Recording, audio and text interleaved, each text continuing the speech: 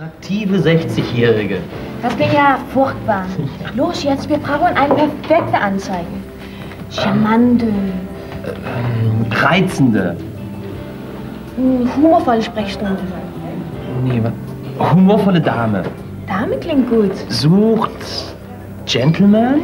Klingt langweilig. Ach ja? Dann vielleicht lieber ähm, weiblicher Skorpion sucht passendes Sternzeichen zum Kennenlernen. Oder noch besser, sie sucht Pendant mit Herz und Verstand für gemeinsame Stunden. Das ist nichts für Frau Petermann. Klingt ja wie eine Sexanzeige. Lieber Sexanzeigen steht dann, junge, schlanke Sie massiert dich, Haus- und Hotelbesuche. ähm, oder zum Beispiel hier, die Seitensprungagentur. Das hörst du nicht?